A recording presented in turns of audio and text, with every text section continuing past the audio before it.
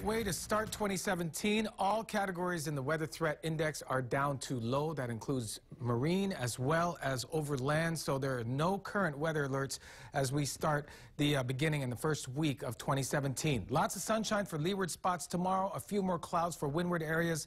Overall rainfall scaled back. And right now, another cool night for the island. 75 in Honolulu, 73 Hilo. Those overnight temperatures will start to dip into the upper to mid 60s as that cool weather pattern continues. There's not a lot of rain right now. In fact, uh, most rain gauges are absolutely empty. As you can see on the radar, the returns that we're seeing are very few and far between. In fact, most areas of the state completely dry right now. We'll be lucky if we get an isolated shower or two, and that weather pattern continues in through tomorrow. But I want you to take a look at this line of clouds to the north.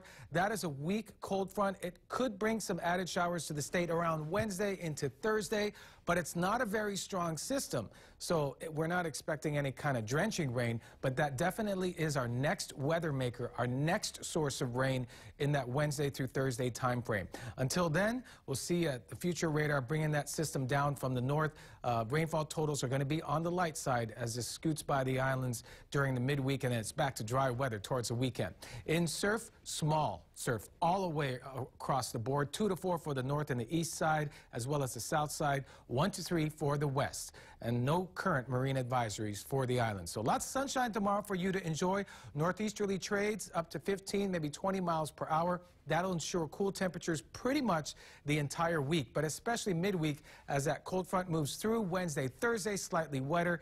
Overnight temperatures, at least at the Honolulu airport, dipping down into the low 60s Thursday into Friday. So the beautiful trade wind weather continues for the state. Enjoy it while you can. Howard Marissa, back to you.